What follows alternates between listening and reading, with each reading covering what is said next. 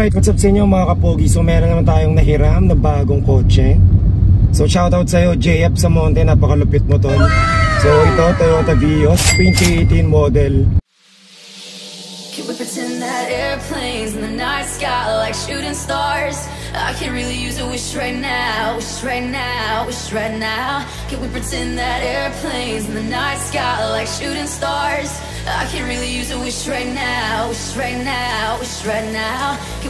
So ito yung last phase bago maging Joker. So ito, Superman pa to pare. So ito, automatic transmission. So tinest drive ko na rin to, papuntang office. Then goods, napakaganda. Napakasarap drivein, napakatipid sa gas. Dual DVTi engine.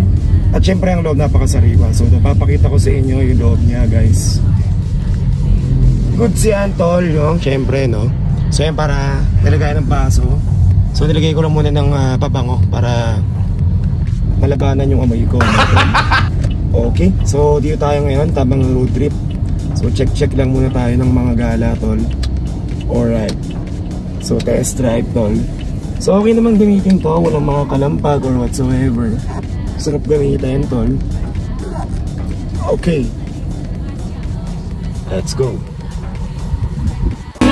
Dream, dream, dream, when I want you.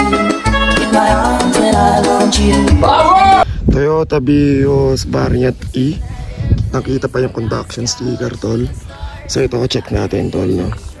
So ito, ah, may tint naman pero light lang. So ikutan natin, tol. Goods. So yan. Okay. So napakasariwa niyan, boy. Halogen, all stock lang yan, tol.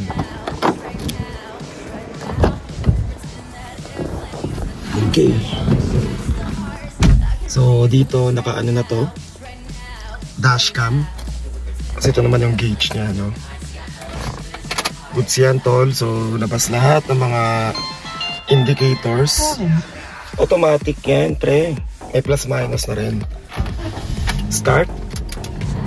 Malamig ang aircon yan, syempre. Hindi pwedeng hindi malamig, tol. Quality yan, pare. Okay? So ito naman ang loob niyan. So naka-plastic uh, sidings. Baka ano na rin to. Um, power windows. May busina, syempre. May controls rin dito.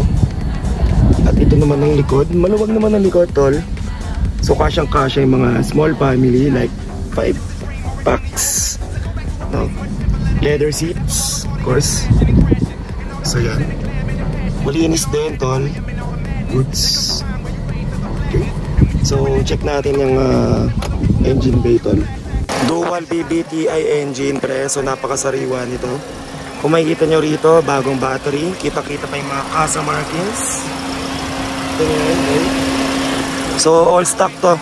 Walang ginawa dito kahit na ano. So, yun ang ah, engine number niya, 1NR. So, all stock yan, pare. So, napakalinis. Wala rin itong mga katagas-tagas na kung ano-ano. So, inline 4-cylinder. Napakalinis niyan, tol. Napakatahimik pa, pre. Okay? Okay.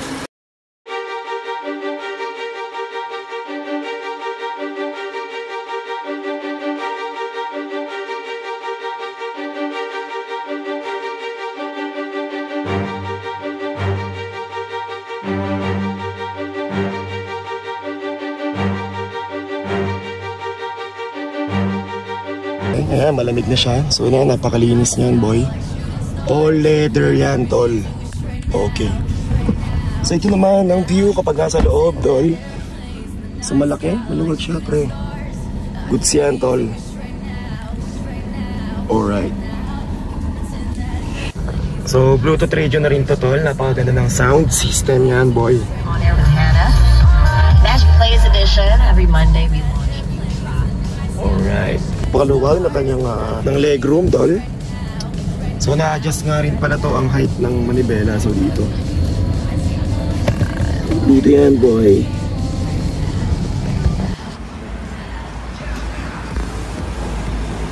So, yan ang labas nga, pre. Alumina de jade ang kulay.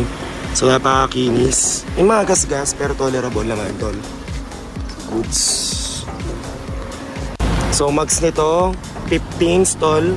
Silver, silver lang ang kulay. Makakapalang ma ang goma niya, tol. Goods, man. So itong nahiram nga natin na Toyota Vios Superman Face to. Salamat kay JF. Usapang Vios o ang current gen ng Toyota Vios ngayon na ito, Vios Joker. Ang next naman ito nga si 2018, Superman. Naglaro ng 2014 hanggang 2018. Next si Vios Batman. So ito yung ma- mahaba to no. So 2012 hanggang 2008 at ito naman si Vios Robin. 2004 hanggang 2007. Okay, next tayo sa usapang Pilipinas. No, dito tayo sa Maynila, wag na tayong lungayo. So pag-usapan natin ang pambansang sasakyan na Toyota Vios. So number one selling car to sa Pilipinas. Inagawang taxi, tinaman naman to, napakalupit na taxi na to. Ang lupit, dumaan sa yellow lane sa EDSA pare. So lang makakatalo dyan. So next, ito, tinan mo naman tol kung paano mag U-turn tol. Di ko manila lahat pero karamihan ng mga taxi dito at mga ibang public transportation ay mga kamote. So tingnan mo lang to, isang malupit na example. Lalo na tong susunod mga tol. Nosebleed na si Manong Driver sa pangungontrata sa pasahero niya, buong tapang pa rin itong pinagpilitan na limang daan ang ibayad sa kanya. Dismayado ang pasahero na si Hailey Dasovich na isang kilalang Phil-Am vlogger. Yeah, start the meter, Kuya. How, how about ate 500? No, Okay ate, I'll transfer you to other taxi ate. You've been there for almost you're not one. fixed at, at Rockwell. I know that. Yes ate, if you don't mind. Pagsakay pa lang ay naasiwa na si Dasovich dahil hiniritan kaagad siya ni Kayanan. Kahit na gano'n ang mga nangyari, number one pa rin ang Toyota Vios dito sa Pilipinas. So kung sa brand nga pag-uusapan, number one ang Toyota, number two ang Vios. So ibig sabihin, tinalo ng Toyota Vios ang ibang brands tulad ng Honda, Mitsubishi at ano-ano pa. Usapang papogian naman ng auto, hindi papatalo ang Toyota Vios. So kung tinan tong sample picture na to na nakita ko sa YouTube, ganyang kalupit kapag binihisan mo ang Toyota Vios. Napakapogi at may ilalaban din naman sa market. Siyempre ang panghuli, so sneak peek ng bagong Toyota Vios, model 2025. So panoorin natin commercial.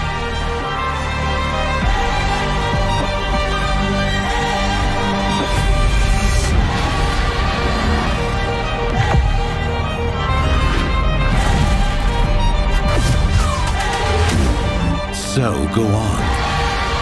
Defy. Defy expectations. With the all new Vios. Okay, so andito na nga tayo guys. So till next time, sa susunod na car vlog na lang natin. So tingin muna tayo ng mga bagong coaching to check at iti-test drive no. So alright. So susunod, ah try natin gumawa ng malalaki. Hiram tayo sa mga tropa ng bagong kotse. Alright, let's go!